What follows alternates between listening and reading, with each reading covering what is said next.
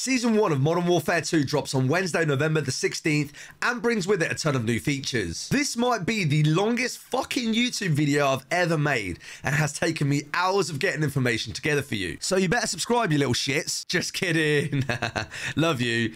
But yeah, please sub. It's the release date of Warzone 2, the new DMZ extraction shooter, and multiplayer players will be seeing new content. We're going to break this down section by section, telling you each feature that's planned for Season 1. So get comfy, Call of Duty fans. This one's going to be a long one. That's what she said. Let's start off with the roadmap that Charlie Intel posted last night laying out Season 1. We'll go into each section in more depth, so let's just start with an overall view. For Warzone 2 in the top left, we'll be seeing Al Mazrah as the new map alongside DMZ as the new game mode. They're supposed supposed to be a new gulag with new vehicles, including the heavy chopper and Hummer. That's pretty cool. As for features, you'll see aquatic combat, circle collapses that we've spoken about before, proximity chat, new buy stations, third person game mode, and interrogation.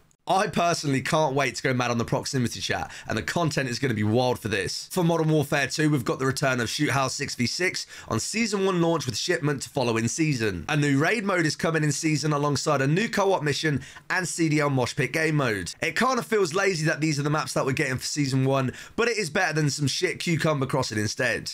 Moving over to the top right, we've got the new Battle Pass system, which contains a new operator and new weapons. Modern Warfare FC, as they call it, will bring in Messi, Paul Pogba, and Neymar Jr. as limited time operator bundles. But dear lord, what have they done to Messi? Anyway, we're also seeing new weapons, including the M13, Chimera AR, aka the Honey Badger, and new bundles and other operators, including Gaz. All in all, aside the lazy maps, I'm quite happy with what we're getting so far. On to our first topic, we're taking a deep dive into Warzone 2. Warzone 2 alongside DMZ will be free to play from the 16th of November. It's important to mention that all of these game modes we refer to will all be cross-platform, available on all platforms, and with cross progression. Absolutely spot on, chaps. These game modes should have FOV sliders for console players, making everyone have the same options when it comes to gameplay. Xbox One and PlayStation 4 players, however, may have some issues being last generation players. There's apparently limits on how many players can join a server at one time, so I'm unsure as to what this means for older gen players. The development of FOV for console, however, was always a hot topic after the first few years, so it's great to see this development coming through. And speaking of Warzone 1, it's been said that it will be changed to the official name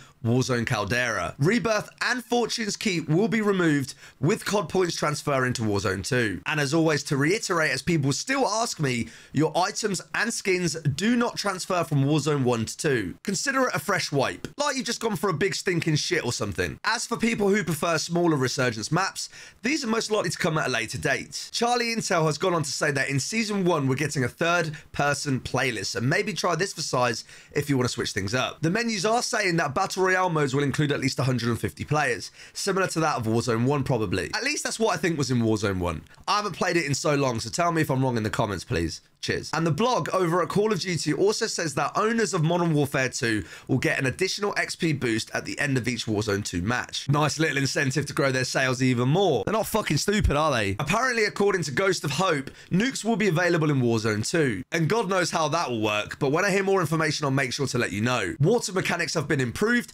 and players will have the ability to dive down and shoot enemies. Swimming now also gives you a chance to survive if you end up in the water. I can't wait to see some clips of what people end up doing to stay alive in some games. I give it a day before we see a viral water-based clip from Warzone 2 with some funny shit going on. In regards to vehicles, the mechanics you saw from the campaign I believe are going to be added to Warzone 2 as well. Being able to lean outside of vehicles to aim weapons, potentially stealing vehicles, and taking a car out piece by piece could all be in the game mode. That campaign mission where you do this ended up being one of the funniest experiences I've had on COD to date, and I'm sure again will make some interesting content. Things we mentioned in the intro, including third circle collapses and proximity chat, will all be in the game modes. Now, this is going to create some serious chaos. And finally, loadouts. The big daddy of discussions of Warzone. If we don't have loadouts, then what's the difference between Warzone and any other BR on the market? And if we do have loadouts, then people complain about metas and people all using the same guns across the game. Ah, the Call of Duty community, yeah, you just can't win. But the news we do have on loadouts is that they are in fact going to be in the game. Originally, we were told that they weren't, but recent news has surfaced to say that they are now available. Three screenshots found online show the additions of loadouts with the ability to pick your gun when you get there. Charlie Intel states that loadouts can be picked up from shops with cash, public loadout drop events, and for clearing strongholds or black sites. This means that loadouts will now be more accessible than ever, so if you don't like meta BRs, this certainly won't be for you. As for more info with the strongholds and black sites, AI characters will be located there ready to engage you. Charlie Intel says that you'll need to clear these areas and disarm a bomb for a key to a black site. Black sites can offer even permanent weapon blueprints and more for players who spend time clearing them out. Black sites can even offer permanent weapon blueprints and more for players who spend time clearing them out. This sounds like a great incentive to push PvE gameplay into Warzone 2. Now, what do you think of this Warzone information so far? Will you be playing Warzone 2 and are you excited for the new map and features? And oh yeah, the Ricochet anti-cheat system introduced in Vanguard will be present from day one in Warzone 2. Hopefully cheaters this year get the fucking hammer because I'm sick of seeing them. Mugs. Let's move on to the new DMZ game mode. DMZ, as you may or may not know, is a brand new extraction mode coming to Call of Duty for the first time. It will be free to play and dropped alongside Warzone 2 on the 16th of November. It's referred to as an escape from Tarkov based game mode, where players will team up to fight for similar objectives. Earlygame.com's article explains that you'll drop into a large map in teams, fight against bots, and other players and complete objectives before heading to an extraction point. They then go on to say that you'll have to complete a variety of objectives, including saving hostages, fighting bosses, taking over strongholds, and collecting intel. Now, the reason that I don't try or play Tarkov is because the pace of the game is far too slow for my liking. I completely understand the tactical element for people who want to play tactical extraction shooters, but it's not for me. But from what I'm seeing via the players who played this during the week is that it looks more like a glorified plunder game mode. There's apparently no economy and people camp the chopper for extraction at the very end. That is going to get fucking annoying. Moving forward, a screenshot from Charlie Intel shows Swagg's perspective in DMZ checking out the backpack and his loadout. I'm not going to lie to you, the UI looks like shit. There's so much going on all over the place that it's just going to be a confusing mess for players. There are, however, sections that shows what's inside the backpack, including keys, weapon loadouts, and contracts on the right-hand side. And as for the buy stations, this is it. Honestly, it feels very bare bones at the moment with not all too much going on. I was expecting way more in-depth mechanics like crafting, survival guides and more. It just feels like it's going to be plunder all over again. Plunder on these nuts. The menu screen looks decent with an interesting choice for solos on there. I'm curious to see if quads appear at any point. Now, before I give any more feedback on this, I'll need to try it for myself first. And remember, we'll have shared progression for the battle pass. So even if you're playing DMZ, you'll be able to level up your battle pass and access the rewards you deserve. The loadout.com website states that progression and items will also be seemingly shared with Warzone 2's progression, as it is a mode for the game. You're able to earn skins, blueprints, and more from DMZ that are usable across multiplayer and eventually Warzone 2 as the whole system is shared. Now, I love it when developers take the time to cross integrate progression with whatever you're playing.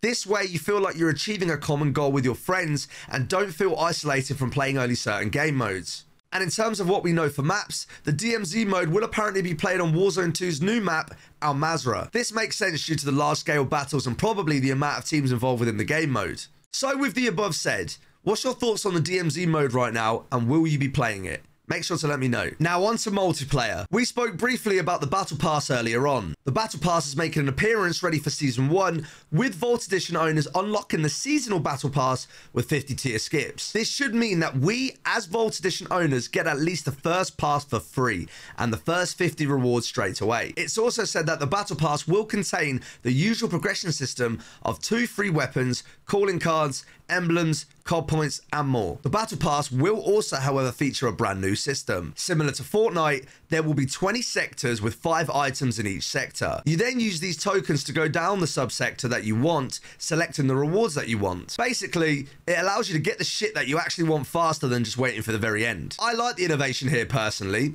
Let's just hope the UI isn't confusing and it's simplistic to differentiate each area. As for maps, I've spoken on my previous videos about the potential reintroduction of Shipment and Shoot House. We're seeing Shoot House drop straight away with Shipment coming later down the line. On a TikTok that I did, I even called them lazy for this, as it's something that we probably could have got even from release. Even though it's a camo grinder's dream, Shipment has been so overused and so overdone. Oh well, at least we'll be able to get Orion camo easier. Shipment is, however, actually based on a ship this year. So I'm curious to see how that's going to play. And as for prestiges, in my opinion, we've got some great news. Yes, we're still getting seasonal prestiges, but it looks like we're finally evolving in some ways. Attached, we've got five prestige emblems that you'll be able to get across multiplayer, Warzone 2, and more. Those emblems are fucking fire, by the way. Well done, Infinity Ward, on the designs. Level 56 unlocks Prestige 1, level 100 unlocks Prestige 2, all the way to 5th Prestige, which is unlocked at Season 1 level cap 250. The number you reach at during each season will just continue on rather than reset for each season. This means that if you hit level 225, let's say, by the end of Season 1, you'll still continue until you progress past 250 for Season 2's benefits. These emblems are so much cleaner than what we've had in the last three titles, and I'm so glad we have a continuous level system versus the one that resets. Overall, even though it's not the original prestige system, I am happy with this. Apparently, you'll also have the chance to unlock additional rewards, emblems, and exclusive calling cards for going into prestige. I've been preaching this idea forever, and it's good that we're moving this way. As for operators, it's getting interesting. A screenshot from Charlie Intel shows Neymar, Pogba, and Messi all coming as limited edition bundles to Modern Warfare 2. And as I said in the intro, Messi's been done dirty here. Pogba and Neymar have clean coloured skins, but Messi's operator doesn't even look like him. Not to mention his skin is fucking boring. How can you do the GOAT like that? And it's most likely, especially knowing Activision, that these bundles will be around 2400 CP each. As for other operators, we'll also have Gaz returning during Season 1 to the operator list. I always love seeing Gaz in the Modern Warfare games. Moving on to weapons, we've been given an insight to four weapons making an introduction to Modern Warfare 2. The Victus XMR sniper rifle will be available to unlock via the Battle Pass on launch with Season 1. Snipers rejoice that actually added them in this game before six months down the game's life cycle. As for the second weapon, we'll be seeing the BAS-P SMG, which will also be available at Season 1 for launch on the Battle Pass. The M13B is making an appearance at launch for Season 1, and you won't even need to have the Battle Pass to use it. And finally, the Big Daddy is coming back. The Chimera Assault Rifle, also known as the Honey Badger, will be introduced to the game mid-season outside of the battle pass. I personally can't wait to see that added to the game. Hardcore players, or should I say tier 1 players, rejoice and camo grinders close your eyes because combat records and hardcore mode are being introduced to season 1. Yes, we're finally going to be able to see KDs and win-loss ratio, hopefully with a leaderboard added to it. Now, if you're like me and you've been camo grinding, then good luck as these stats will probably look like shit. That Orion camo though. Competitive players will have the CDL Mosh Pit available with proper competitive game modes dropping in 2023. Don't forget that the CDL season for Call of Duty starts next month on YouTube,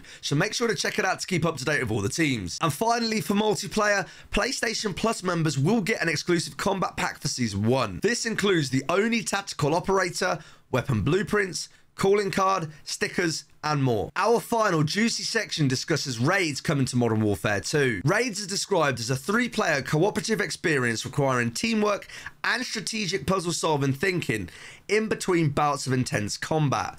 That's via the Call of Duty blog. But just so you're aware, raids are expected to drop at Season 1 Reloaded, which is scheduled for December the 14th, 2022. We know for a fact that there will be the new AI system that COD have implemented in here. I'm just curious on how they'll integrate this alongside the puzzle solving segment. Maybe two people would have to protect another whilst they're defusing a bomb, or something cool like that. Something that really requires some form of teamwork to accomplish. And that pretty much brings us up to the end of this video. You're now fully equipped with the knowledge of everything everything you need for season one. So much content is expected to drop in the same day. Let's just hope they keep the quality aspect there just as much as the quantity. And if you need a live stream to watch the season one in action, I'm live almost every day from twitch.tv forward slash stallion and tiktok.com forward slash stallion, where I stream simultaneously to both platforms. I'm very interactive with chat, and I love running games with my viewers and subscribers. Thank you so much for taking the time to check out this video. Don't forget to like, comment, and subscribe, and I'll see you beautiful people on the next one.